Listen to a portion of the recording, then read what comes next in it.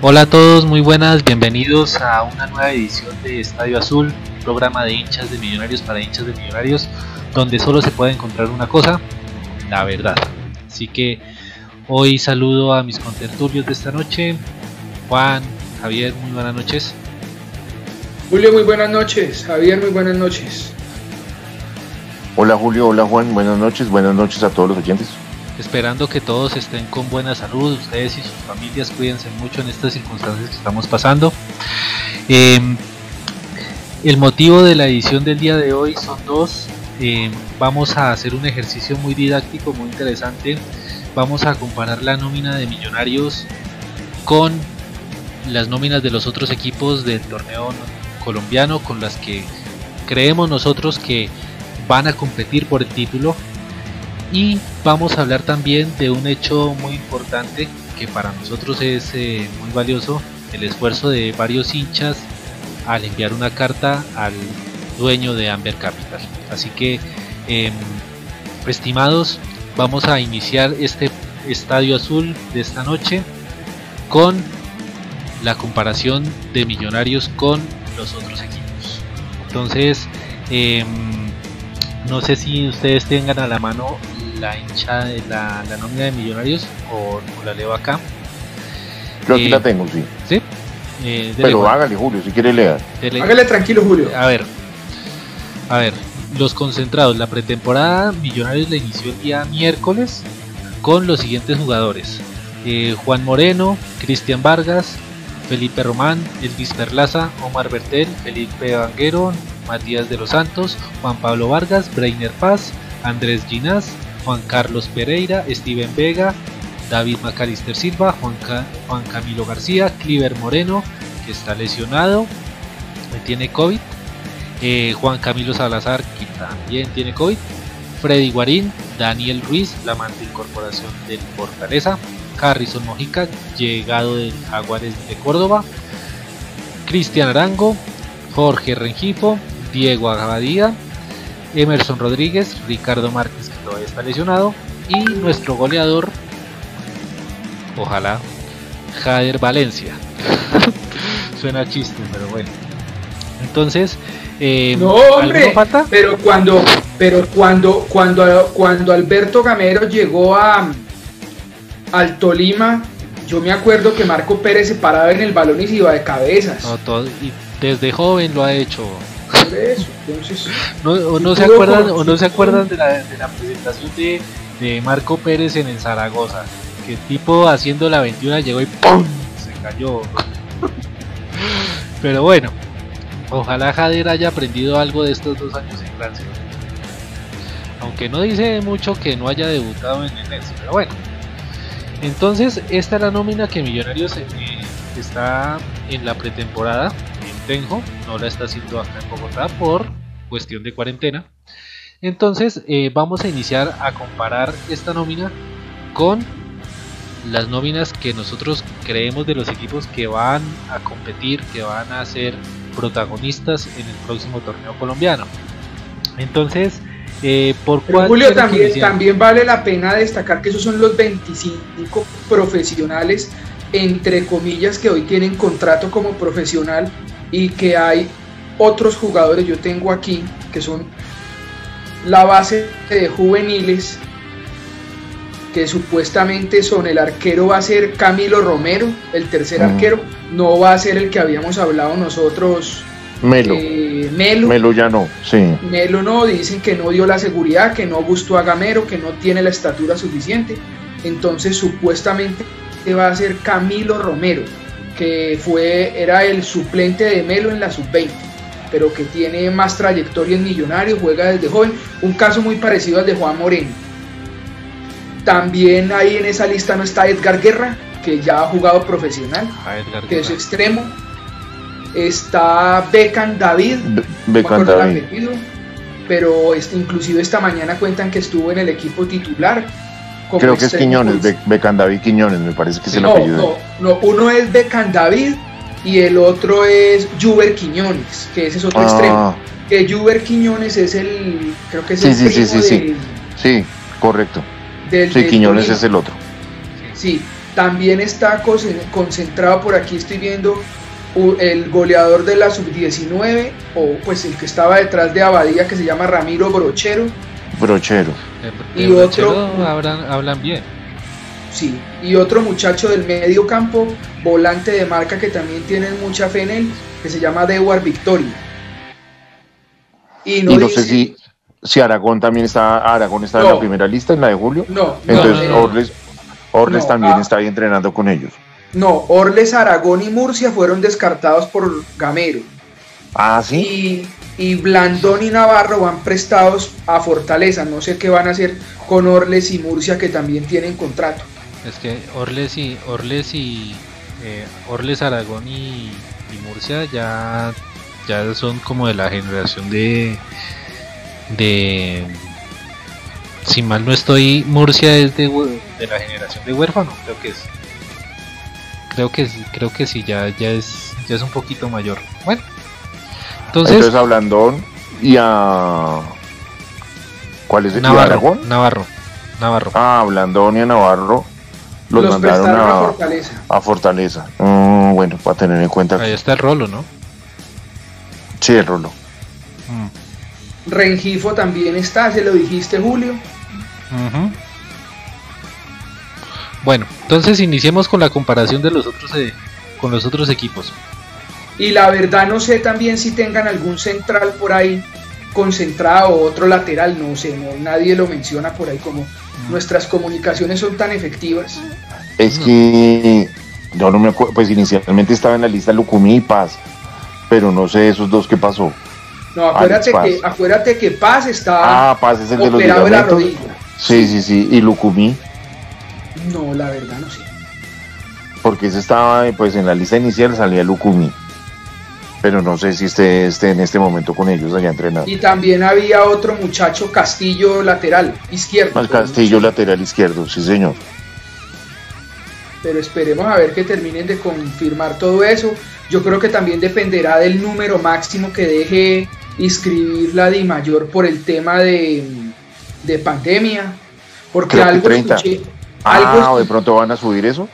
sí, porque algo escuché que Junior inclusive iba a concentrar con el equipo profesional al equipo sub-20 y lo iban a concentrar porque la Conmebol autorizó a que a los equipos inscribieran casi 50 jugadores.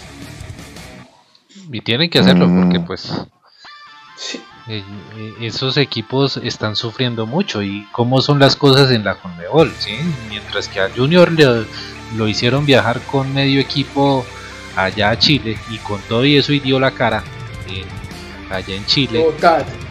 eh, en la semifinal de, de Defensa y Justicia contra ese mismo equipo, contra el Coquimbo de Chile, pues lo suspendieron porque Defensa y. Justicia resultó con, con contagios de COVID. Entonces el peso, el peso de, de los equipos colombianos internacionalmente es nulo, ¿sí? No existe. No existe, no existe. Y, y, y por eso es que están tomando ese tipo de precauciones estos, estos equipos que tienen copas internacionales en, en Colombia. Entonces, pues muchachos, iniciemos, iniciemos con el, con el ejercicio.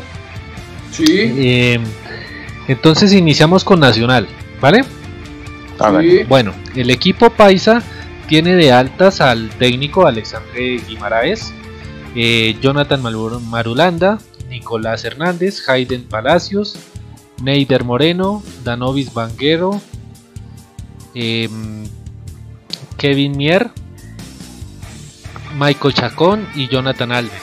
Ese viene del fútbol de ecuatoriano, del Barcelona. Y salieron de Nacional José Fernando Cuadrado, Eliberton Para- Palacios, Diego Bragieri, Estefano Arango, Fabián González Lazo, Cristian Mafla, Cristian Blanco y Andrés Felipe Córdoba. ¿Ustedes qué opinan de Millonarios comparado con Nacional? Nosotros tenemos mejor nómina. O sea, esos refuerzos de ellos están más malos que los nuestros. El único ahí es Jonathan Alves, y eso que ya vino aquí en Junior y no le fue bien, pero es buen jugador.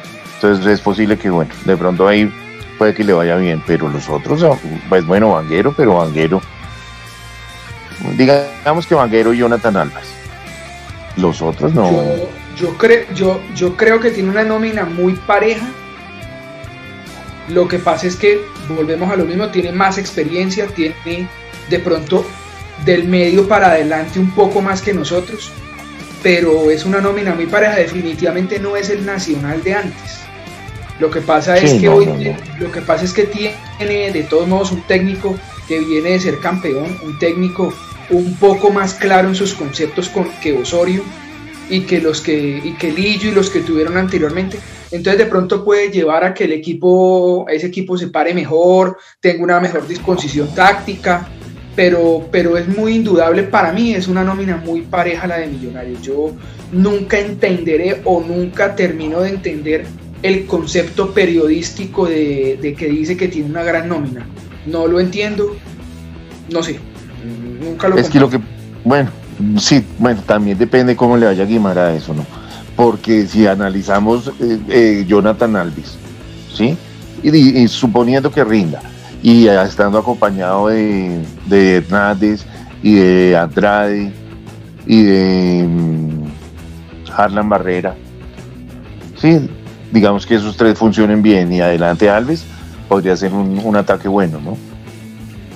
lo que pasa es que esos no, esos no han rendido lo que rendían en otros equipos. eso, eso, es, que, es que depender, yo digo que dependerá mucho de lo que el técnico logre en recuperar ciertos jugadores de esos, porque terminan siendo jugadores muy intermitentes, Harlan, eh, Hernández, el mismo todos son jugadores a Harlan, a Harlan se, lo querían traer para Millonarios. No, no, no. los hinchas tienen mucha reserva con Harlan.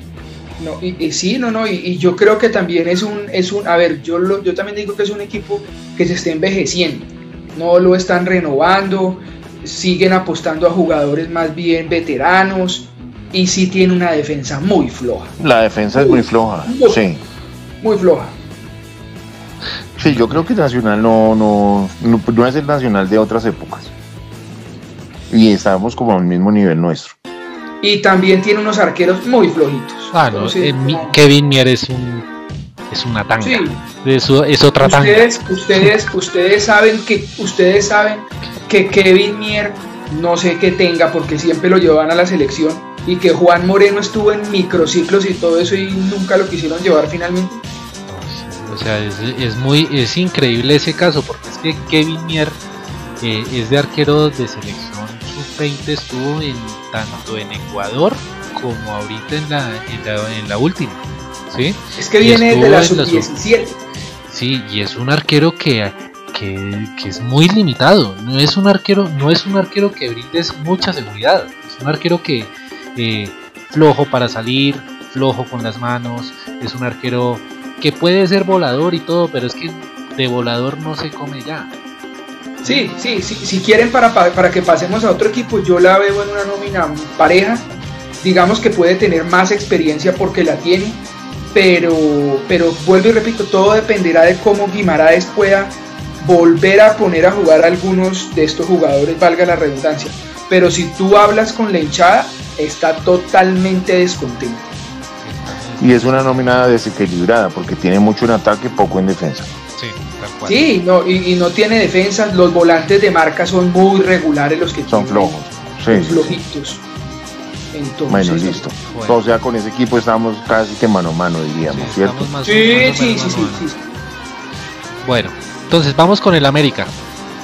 Del América llegaron el arquero Diego Novoa, llegaron Gerson Malagón, llegó Oscar Cabezas, se fueron Juan Pablo Segovia, el capitán de ese equipo, salió Eder Chaus, salió eh, John Arias también.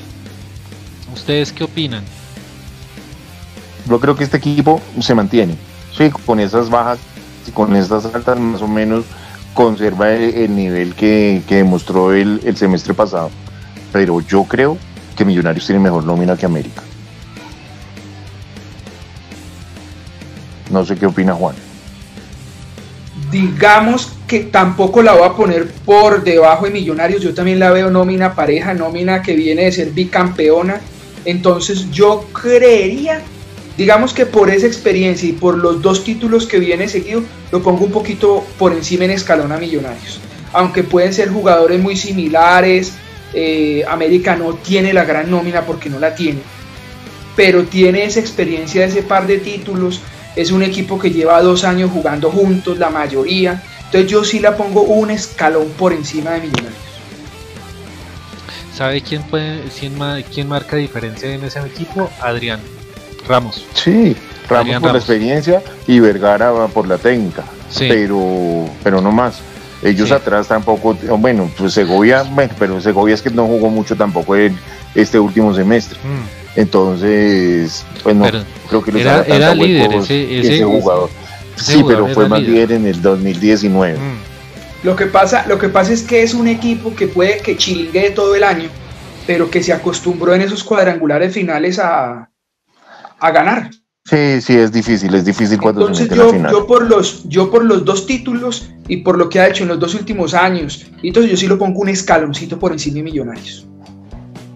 Sí, es, es, indudable que en América, eh, y sobre todo es que tienen algo claro, ese, eh, el dueño es un tipo que es empapado en el fútbol, ¿sí?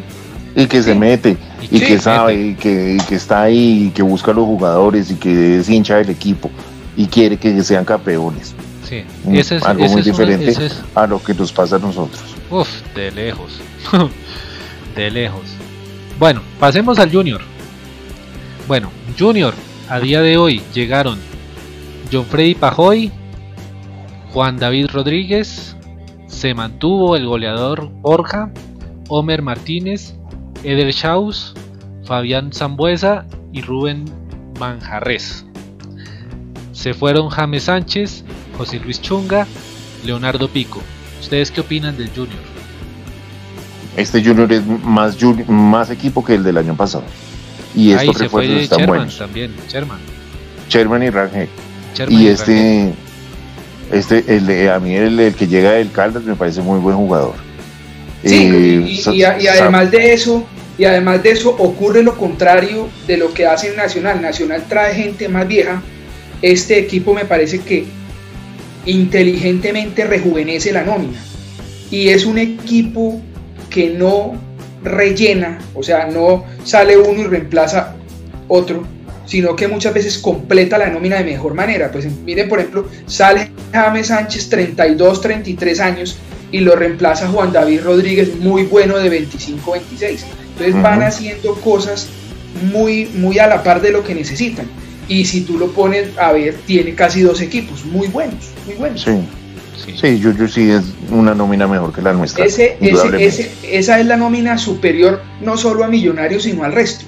Lo que pasa es que tiene unos condimentos que yo no sé por qué no lo han dejado rematar los campeonatos acá. Se enreda, se enreda al final.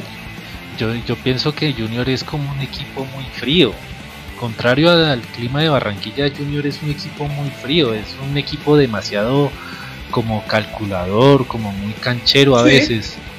Es un equipo, es un equipo que se siente tan superior al otro que em, lo va midiendo, lo va midiendo, lo va midiendo y le mete su puño y pum. A la lona. ¿Sabe dónde, dónde puede tener la debilidad? En Perea, que todavía está, le falta, sí, está hasta ahora cogiendo entonces, en, ahí en el cuerpo técnico no, no tiene como esa viveza y esa experiencia que tienen otros equipos. Pero Perea, Perea ha demostrado que tiene que tiene formación. No, no, no es mal, no es, malo, no es, mal de té. No, no, no, no, no, no. Me parece que le falta, le falta experiencia, pero, pero sí, el tipo tiene, sí, tiene formación. No, y sabe, y sabe, y saben otra cosa que yo sí le envidio al Junior. Viera. Sebastián Viera un tipo de esos, un tipo de esos acá en Millonarios sería leyenda. De hecho lo es en el Junior, pero acá, pero bajo la premisa, bajo la premisa hoy de Millonarios no va a llegar un arquero de esos, a menos de que rápidamente vendan a Juan Moreno. No, pero o sea, reemplaza a Juan Moreno con quién? Para mí, el, para mí el arquero que tiene que terminar tapando aquí se llama Vicones. Pero bueno, esperemos a ver si en algún momento viene ya después de todo lo que ha ganado en México. Bueno, eh, no ha ganado mucho que digamos, pero sí ha ganado plata.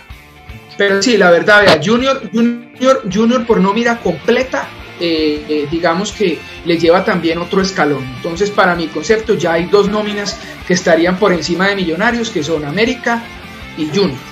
Ese es mi concepto.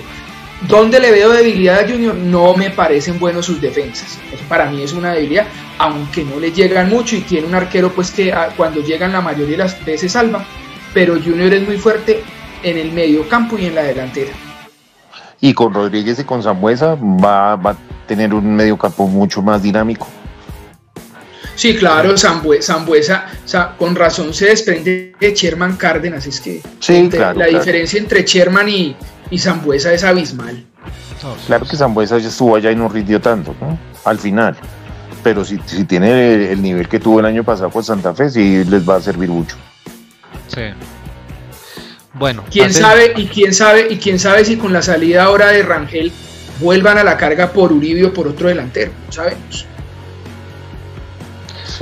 Bueno, entonces hablemos ahora de Santa Fe, nuestro querido vecino. En las altas, Andrés Rentería, Miguel Nazarit, Exneider Guerrero, Aulio Oliveros, Leonardo Pico, Johan Caballero, John Arias, Sherman Cárdenas y Michael Rangel. Y se fueron Enrique Serge, Mauricio Gómez, Matías Balini, Fabián Zambuesa y Patricio Cuchi. ¿Ustedes qué opinan de Santa Fe? Mm, yo creo que con estos refuerzos hay más o menos mantiene como el mismo nivel que viene demostrando desde el año pasado. Pero no sé, a mí me parece que, tampoco, o sea, bueno, está como, como igual a nosotros, ¿o no? No tiene un jugador así que desequilibrante. Esperemos Rangel cómo llega, porque pues el Junior no jugó que se les fue. ya había jugado en Santa Fe, o sea, eso viene por segunda vez, ¿no? Hay veces, segundas veces no son tan buenas. Yo lo que, yo lo que pienso de Santa Fe es que Santa Fe es un equipo que tiene un estilo de juego desde hace muchos años. Independiente de quién lo dirija, independiente de quién sea el técnico, todo, siempre trata de buscar los jugadores para jugar a lo mismo. Miren que trae un centro delantero para tirarle la bola, arriba, mm. arriba entonces, yo creo que esa es una gran ventaja que tiene Santa Fe sobre nosotros, por ejemplo, que digamos que el estilo de Gamero apenas lo estamos cogiendo. Veníamos de un técnico pinto que jugaba una cosa ruso a otra, entonces digamos que yo sí vuelvo y coloco también a Santa Fe otro escalón por encima de nosotros. Viene de tener un año muy bueno, prácticamente conserva la base, y antes en el ataque digamos que va a mejorar un poco, aunque Rangel pues que es, tampoco es de mi predilección, aquí le picaba la bola y bueno, pero sí creo que está un poquito por encima también de nosotros, no me voy a poner a, a decirlo, Millonarios tiene un equipo joven con mucha calidad, eso sí lo acepto, pero creo que Santa Fe también está un escalón por encima de nosotros. Es que mire, si a Millonarios le llegaron nueve goleadores de jerarquía, sí tendríamos de pronto mejor nómina que, que, eh, que América y que Santa Fe. Pero ¿sabe qué es lo más berraco? En este momento... ¿Sabe qué es lo más berraco? Que están diciendo en este momento en las redes que Millonarios no ha cerrado el libro de contrataciones, que puede estar buscando. Pero ¿sabe qué está buscando? Un central, y un extremo, que el 9 por ningún lado se menciona. No, pero mm. y, esta, y esta desconfianza con Ginás. A mí sí me está despertando mucha inquietud esa desconfianza con, con Ginás. O sea, es, es injusto. A él no le gusta, a Gamero no le gusta. Sí, no le gusta, pero es injusto porque Ginás ha demostrado que es buen jugador. Es muy injusto. Pero no nos desviemos del tema. Santa Fe a mí me parece que hizo una buena contratación con Caballero. Con Johan Caballero, ese jugador es, es, es un jugador calladito, rendidor, es un jugador que, que, puede, que puede darle la talla. Además es del ADN Santa Fe, es un jugador que mete, corre, lucha, golpea. Es de, y mira, y, mira y mira Julio que hicieron algo inteligente. Eh, ellos traen a Sherman, a Rangel y al que tú dices Caballero. Ellos jugaron hace un año o más, eh, no me acuerdo en qué año jugaron en el Bucaramanga y fueron fue un buen momento del Bucaramanga. No sé si fue en el 2018, algo 19. así. Ah, no, 19 ya estaban en el América. 18. Sí, como 18, 18. 18. Entonces, mira que hizo algo inteligente. Traen tres personas que prácticamente se conocen y les fue bien en el Bucaramanga. Entonces, claro. Hacen, hacen una buena movida ahí. Bueno. Y Pico también que lo retoman. Bueno, sí, de pronto ahí. sí, Santa Fe ahí por. Y a su estilo, es lo que yo le digo. Sí. Trae jugadores a su estilo. Trae un picapiedra como Pico para que ayude ahí a Andrés Pérez y a. No me acuerdo qué otro picapiedra tiene ahí. Trae unos tipos para que, trae, para que metan centros al centro delantero que llega.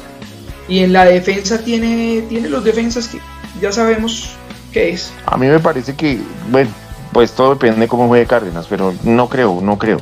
O sea, digamos, la baja de Zambuesa no la están reemplazando con, lo que le llega. Hmm. Sí, esa Zambuesa que era el que le daba como el fútbol y eso, mm, y el cambio de ritmo, mm, aquí no veo, pues en teoría sería Sherman Cárdenas, ¿no? Pero mm, en Junior no le fue muy bien. No. Bueno, hablemos del Deportivo Cali, porque este Deportivo Cali es, es bien interesante. Altas: Michael Ramos, Marco Pérez, Guillermo de Amores, Jorge Arias y Carlos Robles. Bajas: Juan Daniel Roa, Richard Rentería, José Enamorado, Jesús Arrieta, Carlos Lizarazo y David González. Este último porque se retiró del fútbol.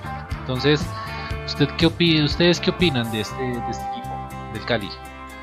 Me parece que esta nómina va a estar mejor que la del año pasado, con estos refuerzos.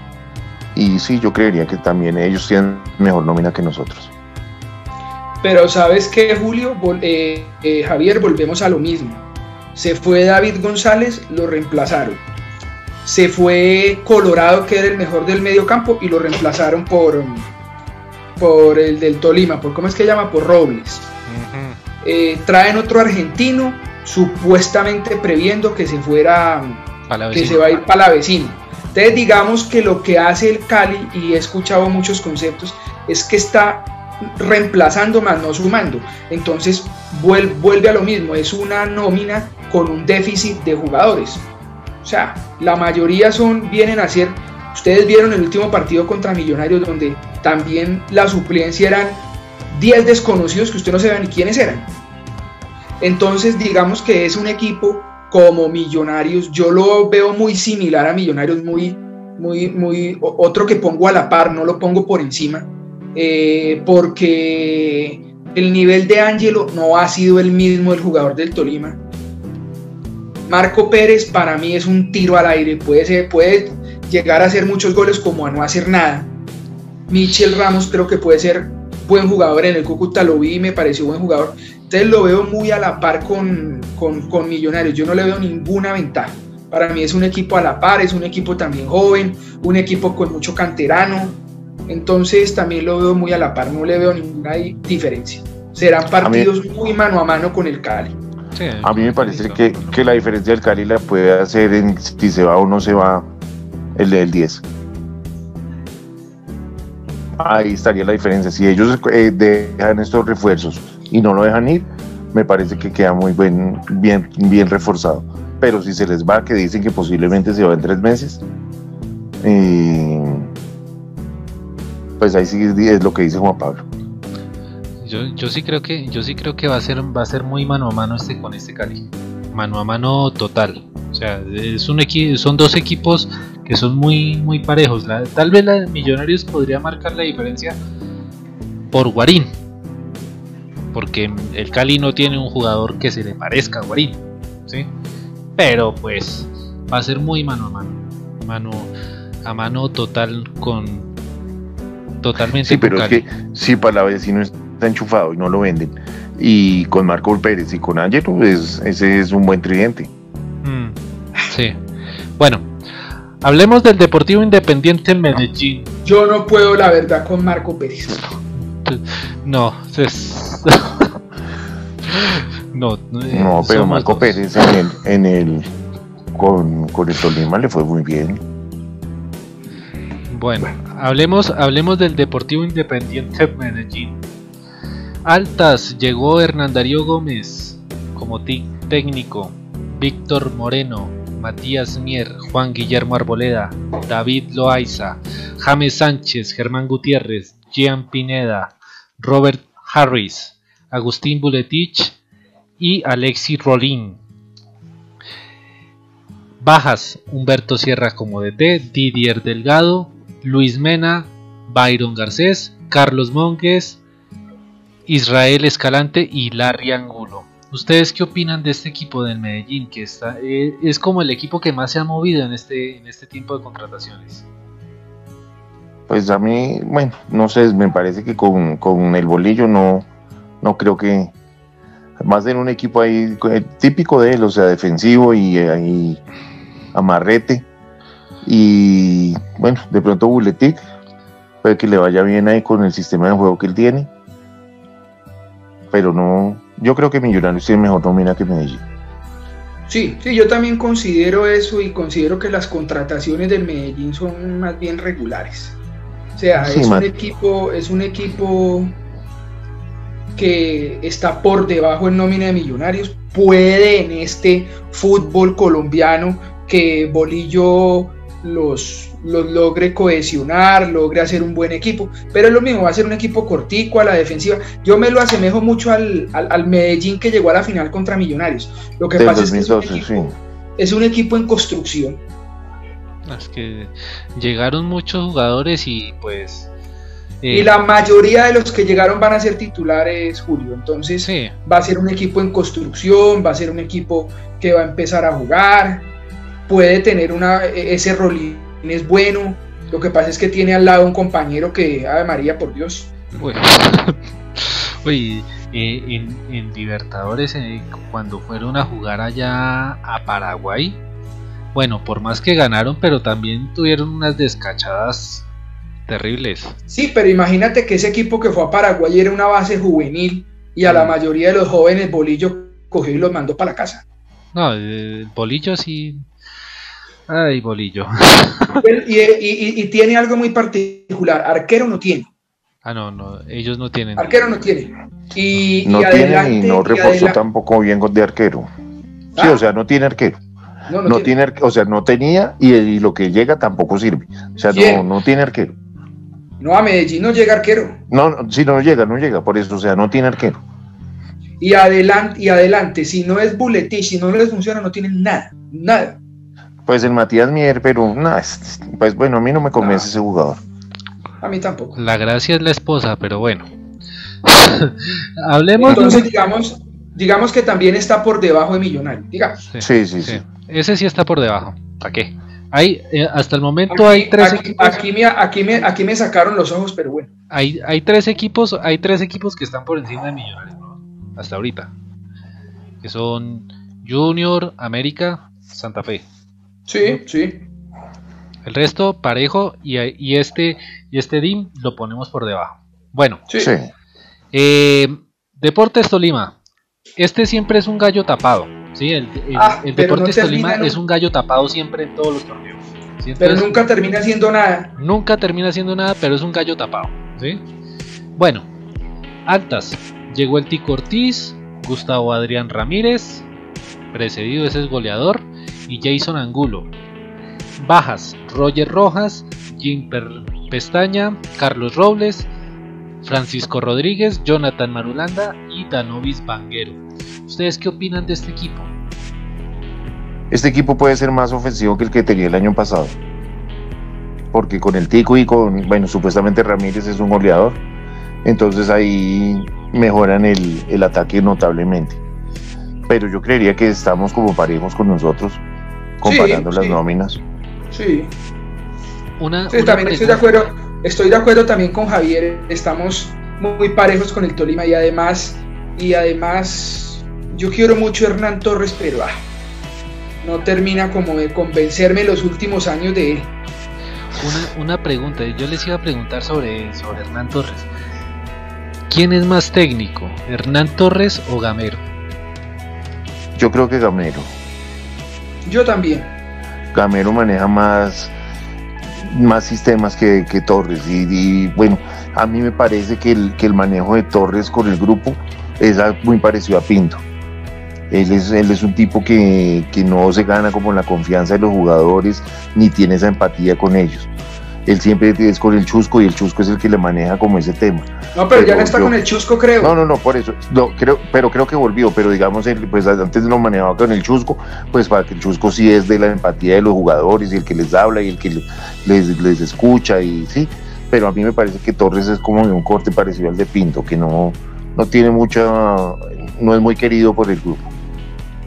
Sí, pero digamos que también está, digamos que a la par.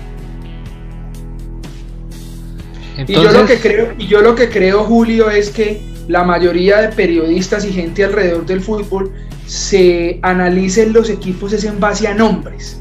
Todavía seguimos en, las épocas en que tenemos nombres, así no funcionen y así lleven dos y tres años jugando mal y seguimos diciendo, voy a poner un ejemplo, que tener a Harlan y a Vladimir es lo máximo. Y son jugadores que no juegan bien hace dos o tres años. Baldomero, Baldomero Perlaza. O sea, voy a poner el ejemplo de ese equipo, pero uno no, uno debería analizar un poquito más por qué el fracaso de ciertos equipos con muchos jugadores. Por eso en Millonarios me alegra que por fin hayan limpiado jugadores como Quiñones, como Montoya, como ciertos jugadores que ya llevaban ahí enquistados y en una zona de confort que no les importaba si iba para aquí o iba para allá o llegaba un técnico, llegaba el otro entonces, casi que de ese grupo que manejaba el camerino en la época de Pinto quedó solo Silva. Sí. Ya los otros se fueron. Solo quedó él. Hizo, hizo limpieza. se hizo pues, bueno, sigue, sigue, sigue, Matías y sigue nadie más, ¿no? Solo Silva y Matías. No, pero a, Matías lo maneja la mujer, entonces eso no es problema. Y Vanguero. No, no, me refiero a, a, los jugadores que, que tenía Pinto a los que va a tener yo creo, Gamero. Yo creo, yo creo que en el tema Vanguero, Vanguero tiene que tener algo bueno para el grupo, para los técnicos, independiente de que no sea bueno o no. No sé si es un buen líder, porque, porque miren que finalmente ahí lo siguen dejando. Pues, pero, puede buenos asados.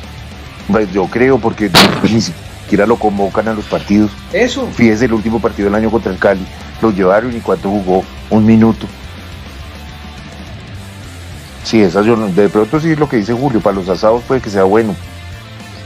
Eh, o para, hemos hablado, hemos hablado, hemos hablado de ocho, de ocho equipos, contando sí, porque Pasto no vale la pena tener. Yo los demás, no, yo creo que se, fueron muchos y llegaron muchos. Sí, pero sí, pero hay que tener en cuenta. Y Caldas también. Mm, yo, creo que hay, yo creo que hay que tener en cuenta tres equipos que normalmente o terminan entrando a los ocho o representan algún problema en resultados para millonarios, que son Equidad, Pasto y Río Negro, que pues no tienen las grandes nóminas, pero se arman de alguna manera para incomodar. Mire lo que llegó a la Equidad. Altas, Cristian Bonilla, Sergio Román, Marvin Valecilla, Valecilla eh, Jean Pestaña, José Hernández, Giancarlos Fuentes, Larry Angulo, Diego Erazo, Omar Duarte y Daniel Mantilla, este último que iba a venir a Millonarios supuestamente. Y sí, lo que pasa Julio, lo que pasa Julio es lo mismo. Hoy el fútbol es, no es tanto de nombre, sino de un buen equipo, de una empatía con el director técnico y de muchas cosas. Entonces, a Alexis no lo podemos descartar porque sus equipos normalmente hacen daño. No, y, además, y además, encerrados y metidos atrás y, y, sin quemando tiempo y mañosos. Lo que pasa es que si va a tener un problema muy grande es que no va a tener arquero. No va a tener arquero y, a Mier, el hueco de Mier no, pues no lo taparon o no. Pues así a, primera vista, ¿no? Porque Mier era el, el delantero estrella de ellos. Sí, aunque era volante, ¿no? Y además llevar... pues este volante, pero con mucho gol, ¿no? O sea, sí, jugaba Sí, sí. No, y además llevan a, este a este muchacho Omar Duarte que en, en Naciopan lo recuerdan con mucho cariño. Eh, este pelado Mantilla, el de Patriotas, no es buen jugador, o sea. Sí, no, el de Patriotas sí, es buen jugador. Sí, Ese, ese, es bueno. Eh, entonces, pues ahí, ahí medio se armó. ¿Sí? ¿Quieren hablar de otro equipo? Se mantiene, se mantiene. Les ofrezco... Águilas. Sí, eh, águilas. Águilas, Sí, mire, que se lo tengo. Se lo tengo, se lo tengo. Águilas. Altas, Anthony Uribe, Huber Boder, que salió del Caldas, se fue para allá. Elícer Quiñones, Alejandro Arturaga, César Arias, Bajas, Francesco Estifano, Carlos Henao, Johnny Mosquera, Brian Fernández y Jader Obrián a la MLS. Todos en Así silencio. por encima, Bravo como que menos se que el año pasado, Iser- Bravo que se, que se llevaron el Iser. Y creo, y creo, creo que les falta ahí Carrillo. Ah, ah, sí, Carrillo también va para allá. eh, Carrillo estaba Yo en entiendo. conversaciones con, con, con el senador Camargo para el Torino, pero bueno. Bueno, entonces muchachos, eh, esto ha sido como el, repa- el repaso de, del FPC. Podemos notar que a nuestro concepto hay tres nóminas superiores a las de Millonarios. El resto pueden ser iguales o inferiores. ¿Estamos de acuerdo o no estamos de acuerdo? Sí, sí, sí, Sí, para mí sí, estamos sí. de acuerdo. Listo, muchachos. Entonces, el segundo tema en conversación em, es la carta de unos accionistas minoritarios de Millonarios que le enviaron a, al señor em, Armenio, a Joseph. Eh, ¿Cómo es que se pronuncia ese apellido? ¿Mm? Es Orgul. Ay, no, no, yo no, o sea, Yo no soy capaz. Orgulian, Orgulian, que es el franco-armenio. Es Sí, sí, franco-armenio. sí. Entonces, eh, esta carta está dirigida más que todo, eh, tiene un compendio de, eh, de situaciones eh, que han girado en torno a millonarios y sobre, el y sobre el manejo administrativo y deportivo que le ha dado el señor Gustavo Serpa. No meten para nada a Camacho, si van con, con toda eh, contra Serpa. ¿Ustedes qué opinan de este esfuerzo? No, a mí me parece bueno, bueno, que la gente se pronuncie y que el señor allá se entere porque ahí le hacen como un resumen de los acontecimientos. No sabemos Serpa co- qué es lo que le dice a él que está pasando. Entonces, Pero- no, me parece muy bueno eso.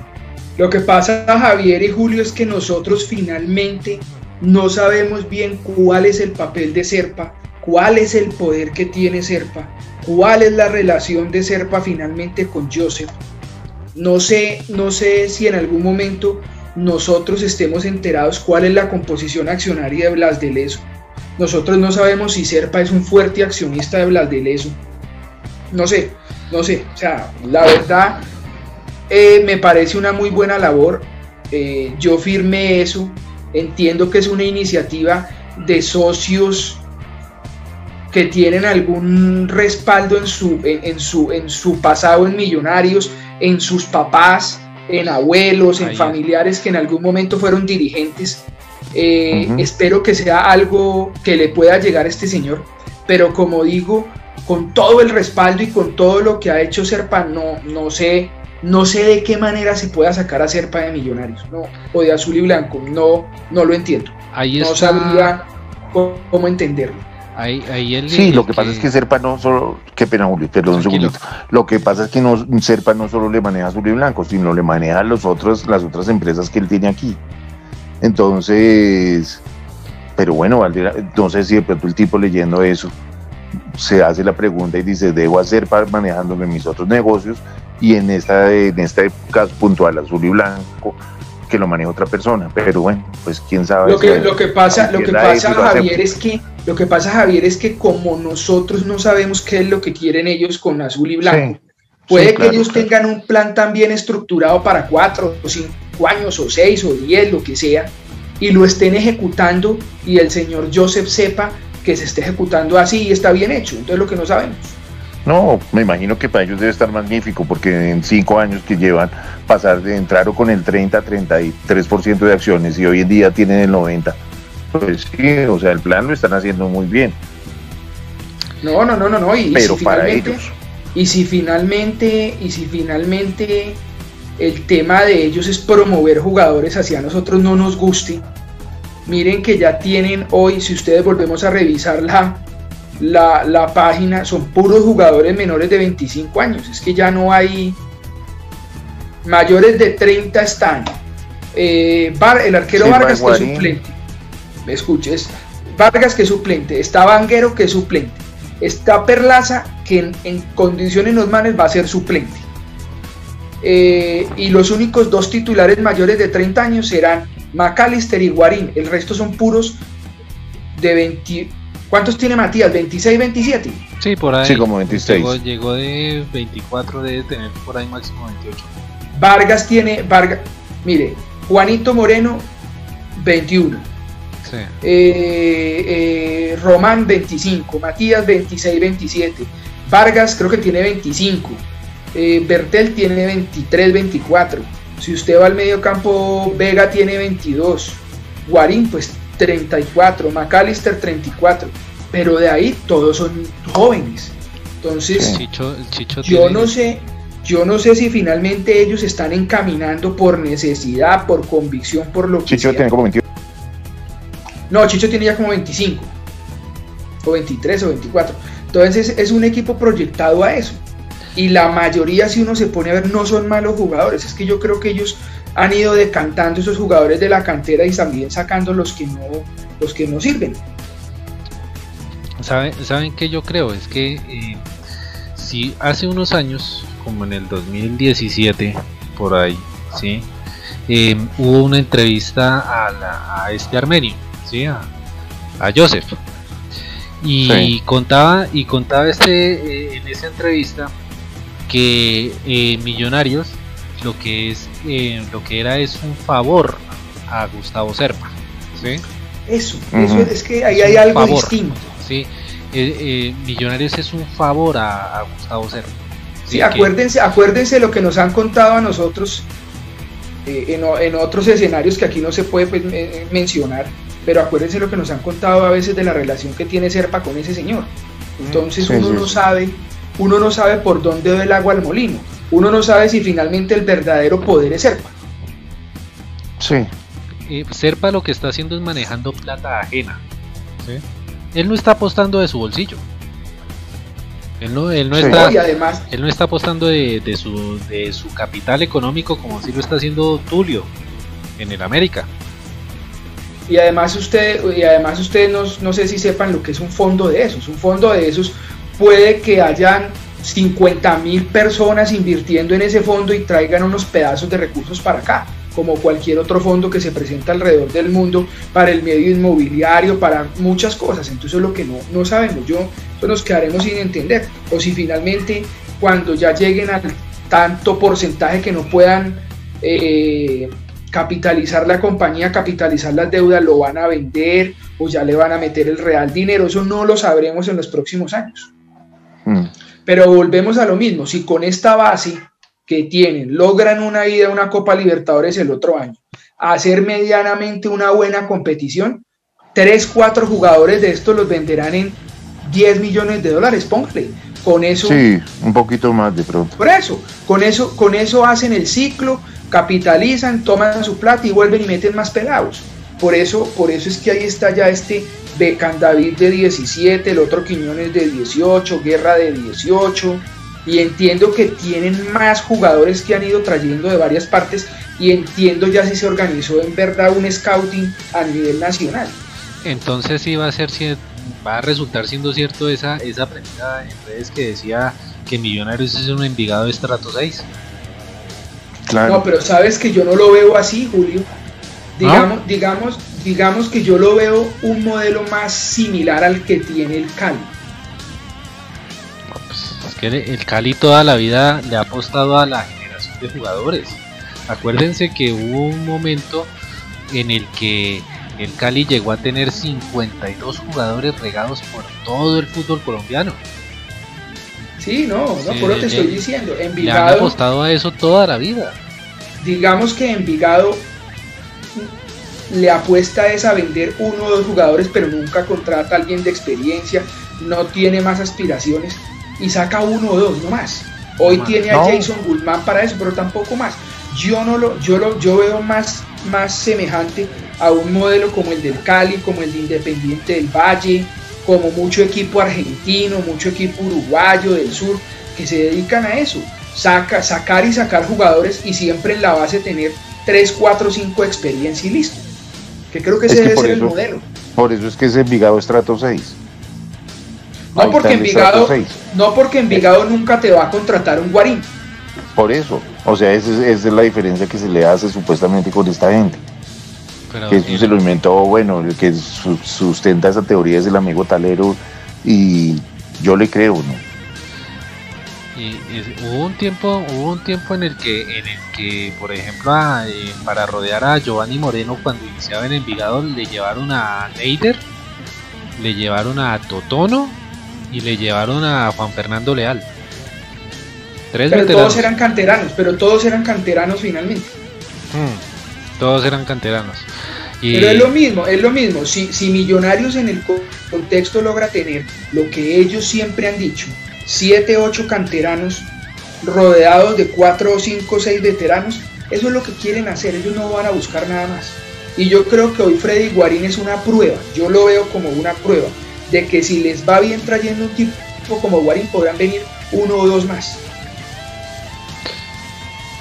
Pero es que la prueba con Guarín es que ya, ya ha pasado. O sea, eh, Millonarios vivió largo tiempo de Mayer Candelo trajo en su en su momento.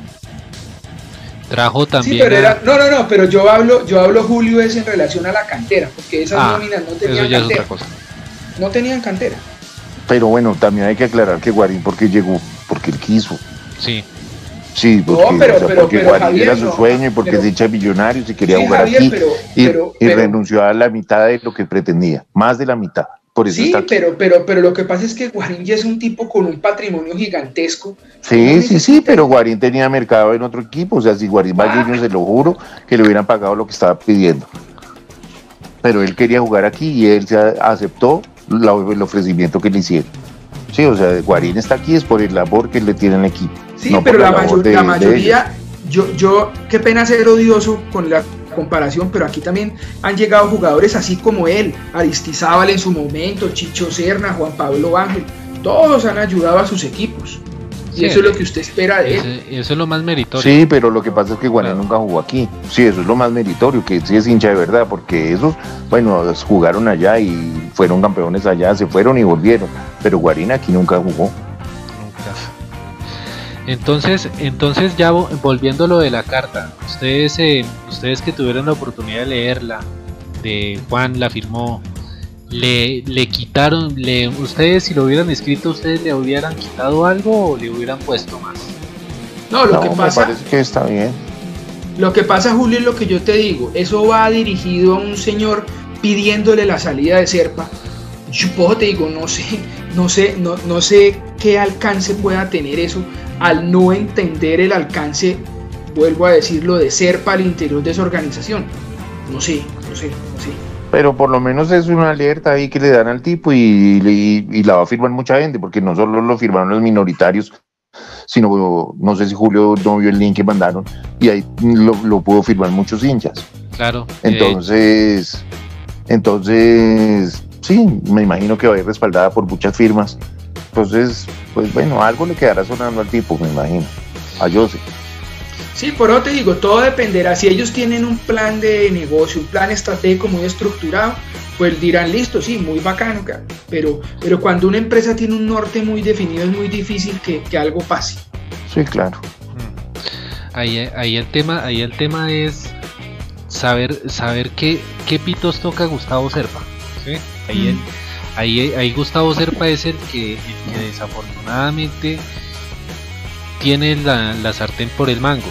Y nosotros. Mire, vea, yo creo, yo, yo creo que muchas cosas en Millonarios se solucionarían en relación a la hinchada si tuvieran un interlocutor distinto que comunicara de manera más elocuaz, más veraz, diferente al señor Camacho.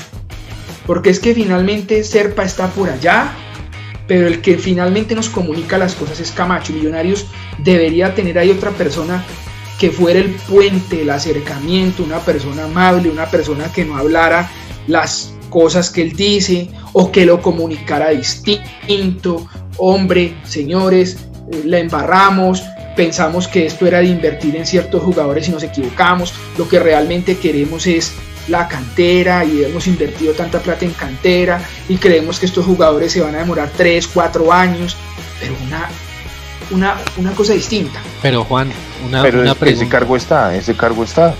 Ese ¿Quién lo cargo lo tiene? tiene César Ardila.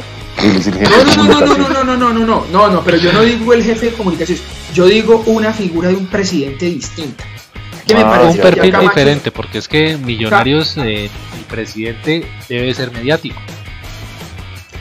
Sí, alguien, alguien que haga, que haga empatía con la hinchada, que usted lo escuche y usted diga, hombre, sí, tienen toda la razón. Hoy no hay plata, hoy estamos en una crisis, pero estamos haciendo un esfuerzo por eso. Es que no, Mire, podrá ser muy, podría ser muy yuppie en su momento, pero con Felipe Gaitán hubo mucha química de la hinchada de Millonarios con ese señor. Sí, no, no, no, no, no, totalmente de acuerdo. Y total. O, o- o un tipo, o un tipo del fútbol, un gato Pérez que jugó ahí, un tipo así que, que- que- uno lo escuche y usted diga, hombre, sí, sí, sí.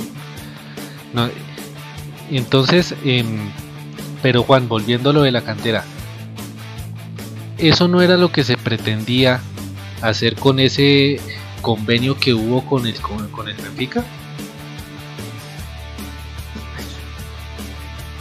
Posiblemente, pero es que lo que pasa es que nosotros no podemos vivir solo de la cantera. Eso es lo que ellos no entienden, ¿sí? Nosotros necesitamos títulos, o sea, Millonarios es un equipo grande, con historia, con la hinchada más grande del país. Entonces, sí, ellos no entienden eso, ellos lo miran como una empresa y no lo miran con esa necesidad de títulos que pide la hinchada. Javier, lo que, lo que pasa es que usted tiene dos maneras en el fútbol moderno. O es como Junior que le mete y le mete y plata y plata y plata y plata la que se necesite. O tiene modelos sostenibles en el tiempo a punta de cantera. Sí. Lo ideal sería combinar ambos, ¿no?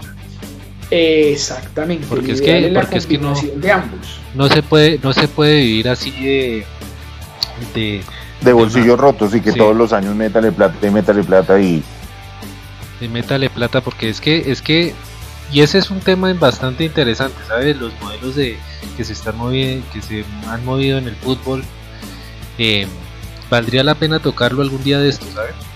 Claro, por, por- por ejemplo, comparar uno a Boca Junior con River Plate son dos modelos muy distintos. Sí, claro. Boca es compre y compre y compre y aquí y aquí y aquí. River tiene un poco más de cantera, un poco más, es distinto. Y por más que hayan perdido esta semana 3-0, ¿no? Eh, se ¿Y cuál, y modelo, y cuál modelo ha sido más exitoso? River. en estos años River, pero en, en, en, en- con Bianchi pues Boca, ¿no? Ah, sí, sí, sí, claro. No, pues es que es- ese Bianchita, cada, cada vez que me convenzo más es que lo armaron a punta de chequera. Volvemos a lo mismo. Miren los cuatro últimos campeonatos de Colombia. Eh, Dos los ha ganado Junior y Dos- dos América. Sí, Y son modelos muy distintos. eso sí es cierto. América no tiene la chequera que tiene el Junior. Mm, Totalmente. Y valdría la pena eso hablarlo en un próximo, una próxima edición, Claro. ya muchachos. Eh, pues esto, esto ha sido Estadio Azul. Mil y mil gracias a ustedes por su compañía, por todo lo que eh, nos han apoyado. Eh, los invitamos a que se suscriban al canal de YouTube, a que nos sigan en nuestras redes sociales que están ahí abajito en el, en el, en el logo. Ahí está Facebook, Estadio Azul MFC, Twitter Azul raya abajo MFC. En el canal de YouTube eh, también los invitamos a que se suscriban, a que le toquen la campanita. Muchachos, este es un, un esfuerzo que nosotros estamos haciendo porque amamos esta camiseta, porque nos gusta, porque nos gusta hablar de fútbol, porque sentimos estos colores y porque de verdad queremos que Millonarios vuelva a ser grande pronto, que salgamos de esta bien, ¿sí? que eso es lo más importante. ¿sí? Así, Sí, que, de acuerdo, de acuerdo. así que muchachos, mil y mil gracias a ustedes por su audiencia. Nos estamos viendo en la próxima. Gracias. Una, feliz, una feliz noche para todos y cuídense todos muchos, cuiden a sus familias, por favor. Chao Julio, mucho. chao Juan y muchas gracias a todos por escucharnos. Hasta luego. Chao. chao.